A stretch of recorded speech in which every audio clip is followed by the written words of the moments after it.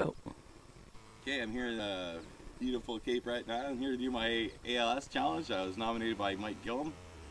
I nominate Mr. Tai Tai, Valerie Lynch, and Big Rod Cornell. Here we go.